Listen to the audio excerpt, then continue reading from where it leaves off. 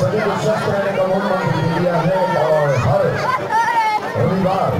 आप सब आमंत्रित हैं रविवार की इस